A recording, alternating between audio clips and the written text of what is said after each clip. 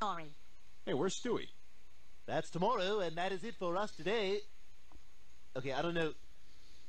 Whatever it is, it's not right on the teleprompter. There it is. We are going to do Sting, yeah. There's no words there. To play us out. What does that mean? To play us out? To end the show? Yeah, yeah. All right, go, go. In five, four, three. That's tomorrow, and that is it for us today, and we'll leave you with a. I, I can't do it. We'll do it live. We'll do it live! Fuck it! Do it live! I, I'll write it, and we'll do it live! Fucking thing sucks! In five, four, three. That's tomorrow, and that is it for us today. I'm Stewie Griffin. Thanks for watching. We'll leave you with Sting and a cut off his new album. Take it away.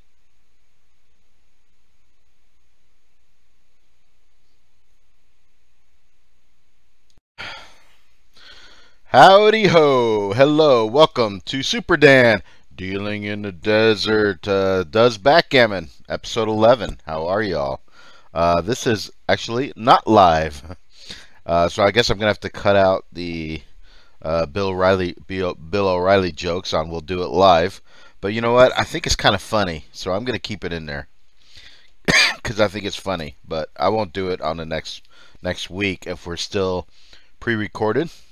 Yes, this is pre-recorded, not live. I apologize ahead of time, but I'm starving. I gotta eat. I've been busy running around all day today. Uh, today's Friday. It is uh, Super Dan's day off, but it's not really a day off. I still got to take care of all sorts of stuff, the familiar and what have you. It's May 12th, 2023. We are playing Backgammon on BackgammonGalaxy.com. These are five-point matches uh, normal clock settings, which means it's uh, one minute per point with a 12 second countdown. As you can see, we got 94 players.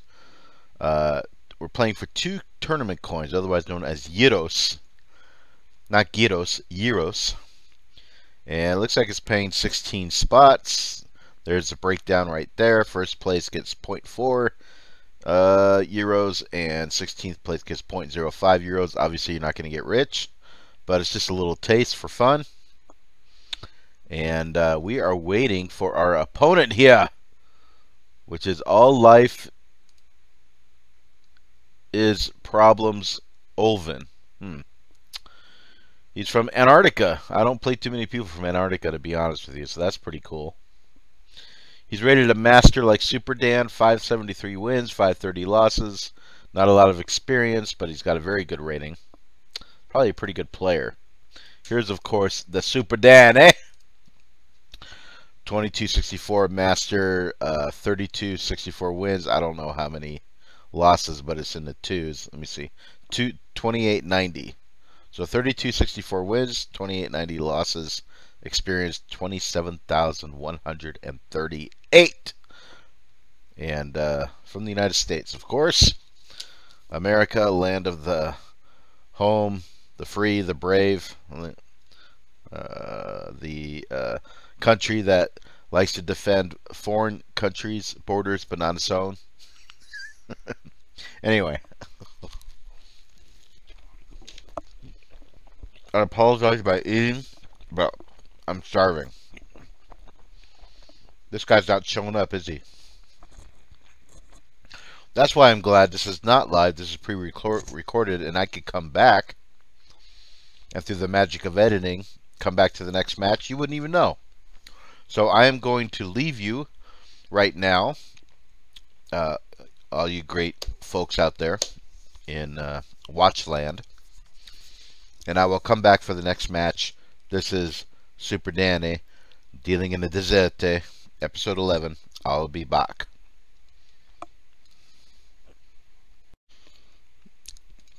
Hello, everybody. Super Dan is back with the magic of editing, and we are back for the next match. My opponent obviously did not show up, so it was an easy round for us. Uh, his air rating 32-35. That's what happens when you don't show up. Now we are playing Luki Juke. We're playing Luki Juke from Finland. Okay, so now we're playing someone from Finland. I'm part Finnish, so it is a uh. And uh, we're going to start with the 3-4 split here. We split the 24 to the 20. And the 13 to the uh, 9, uh, which has gained more in favorability than splitting to the uh, 20 and coming down to the 10.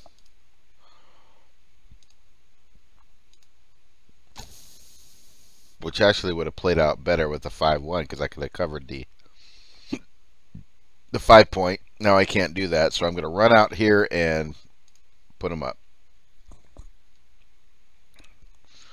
Run out there and put them up. So how y'all doing today? Uh, it's uh, getting warm here in Las Vegas. I'm telling you, we're getting into the 90s. Uh, what do I want to do here? Do that. And uh, summer's peeking over the shoulder. does get up to 115 degrees Fahrenheit here, folks. Believe it or not. Yeah, it gets hot. It gets hot. 3-1, that is a definite hit. And we will hit. And I think he should hit back here, and he does. Okay, so he hits back, but we're able to safety the checkers here uh, on the 16 point, which is good. So far, so good. Double fives is terrific. This game, this game should be in the bag and go on to the next. He should not take this double. I hope he does. Please take. Does not take. Okay, so on to the next game. Now remember, you got to get the five to win. It's, it's first one to five. We are 1-0, which is 4 away, 5 away. You can think of it that way too. Whatever. And on to the next one. He's definitely, look at this. Wow. He definitely has the upper hand right now. We're able to hit. That might stave off the cube for a roll. Okay. So that's good. Save off the cube. Now what do we do? Um, do we make the five or safety? I think we I think we make the five point.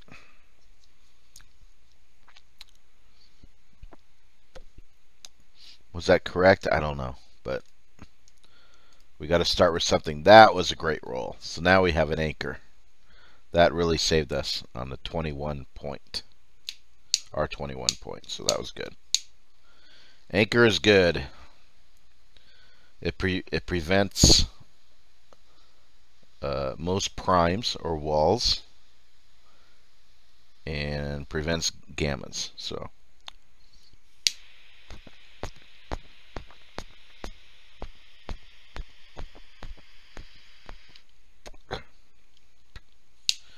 Trying to get this barber pole cigar toasty.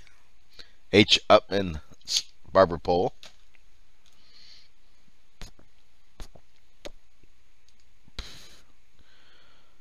Uh, that's the three, and I think I'm going to attack with the four. Uh, better to, there's a saying in backgammon, better to kill than to be assassinated, right? Uh, 4-1, we'll do that. And we'll cover the all-important one point. I say it in jest. Actually, you don't want to be covering the one point because it puts checkers out of play. But sometimes you gotta you got to do what you gotta do, man. You gotta do what you gotta do. Um, I need a drink. I had that pizza. Now I need a drink. But we'll just play this out and then I'll get a drink. We'll play the the match. Alright, so he's doubling here. I'm way down in the race. Um, uh, my timing's not super. I got checkers. Eh, I don't like it. I don't like it. Even though, you know, he's still got, he still has to work on getting around safely. Um, I don't like my timing, so I'm going to pass.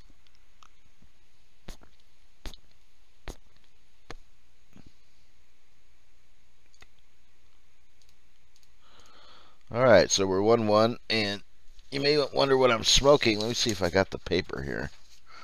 This cigar is from uh, Black Lion Cigars. Or they call them BL Luxuries. they had to, I forgot they had to change their logo, so from because of a lawsuit. So it's BL Luxury Cigars. Uh, you can see that right here. Here's the proof. All right. There you go. And we are smoking here the H. Upmann 1844 Special Edition Barber Toro 6x54. The retail is $9.62. The wrapper is a Connecticut shade Sumatra, the binder is Indonesia, and the filler is Dominican Republic and Nicaragua and USA. And it notes uh, medium strength and body. And I agree with all that so far.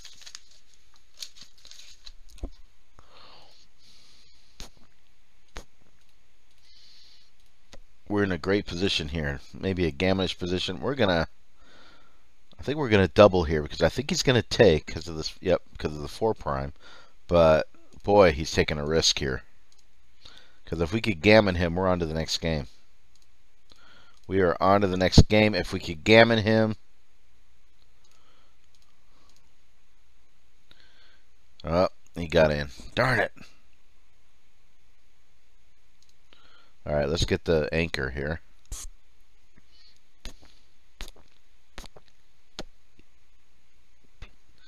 Man, I was getting greedy there. I thought we were. I thought we had a a gammon on our hands. We still might. We still might have a gammon on our hands. The six four does not play well. I would probably. Yep. I wouldn't have done that. I wouldn't have done that. I would have duplicated the ones. But anyways. Alright, so now what we want to do is get out of dodge.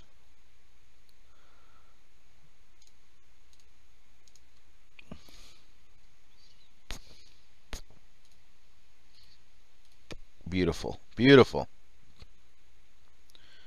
Beautiful.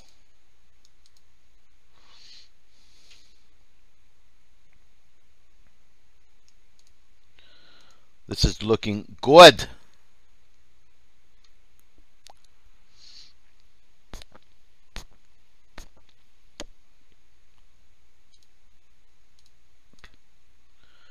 So, what I want to know is why do we send $80 billion? I'm gonna I'm gonna go ahead and leave him vulnerable to a seven shot, but it's not direct, it's indirect. An indirect shot, he misses.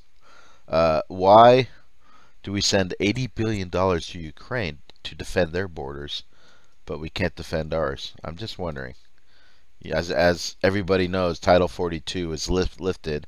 Now we got 10,000 illegals a day crossing the border. That was a terrible roll, 6-3. We just got to hope he doesn't roll a 3. And he rolls a 3. Of course he rolls a 3. Well, welcome to the cruelest game, as they say, backgammon. We had him on the ropes, and I rolled a 3.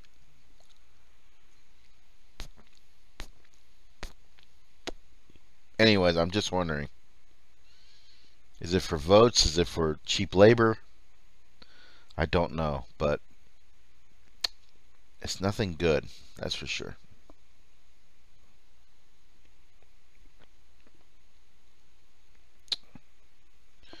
What a mess. All right. Back to backgammon. Um, I don't think this is gammonish. He should probably just double and take the and take the two points. That's that. That'll be my take on it.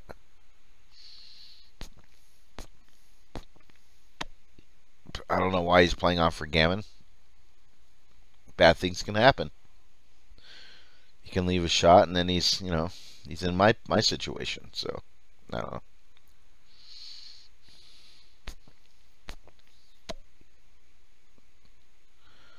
I mean, the percentages is not great for him to get a gammon, so I don't understand the play on. But anyways, all right, so he squeaked that one by. He cheated me. So now we're at 3-1. He didn't cheat me, but you saw you saw what happened. You saw what happened. All right, so he's up 3-1 in a 5-point match. This is our first round. We're going to hit. We're going to try the early double again. This time maybe it'll work. It's looking beautiful so far. It's looking beautiful so far.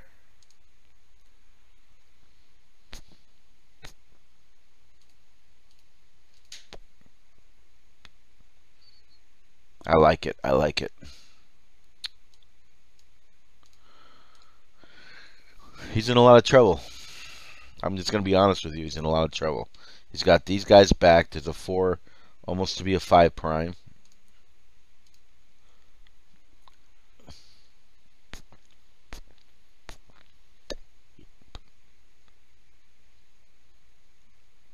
Hit. Nope. We're going to make a 5 prime. There we go. Of course, he gets the double sixes. Lucky luck box. That's what you call a luck box in backgammon. But it doesn't. It still doesn't steer him out of trouble. See, that's the power of a five-point prime.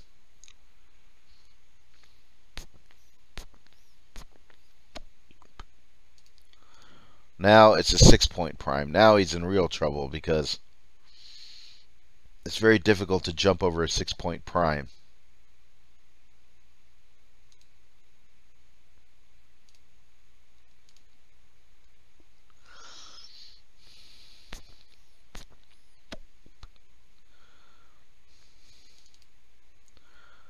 Uh, let's do that. I know what he's trying to do. And it's the correct play. He's trying to get me to break by trying to keep the integrity of his prime as long as possible, but he just doesn't have the timing. It could be a she too, but I'm just going to say he. He just doesn't have the timing, but look at that. Look at that. Now we break. And he rolls double fives? You gotta be kidding me. You gotta be kidding.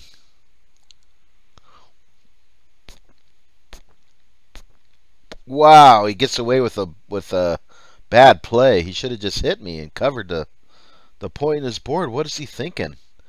But I mean, when you're rolling like God, it doesn't matter because now he just rolled double threes, which is lucky as all heck. Oh, I can't wait to see his luck rating.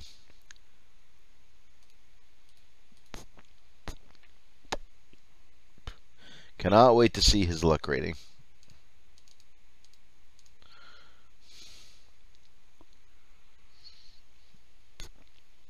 We're still not out of it. Even though we're not rolling well at all. Now we're kind of out of it. I really need some luck here. And all the luck is going look a juke's way. Loki juke. Wow. Looks like we got another week of a one round uh, one round match and it shouldn't have been this way. Super Dan's should have been going on, but as you notice, there's luck in backgammon. And a wise man once said, I'd rather be lucky than be good.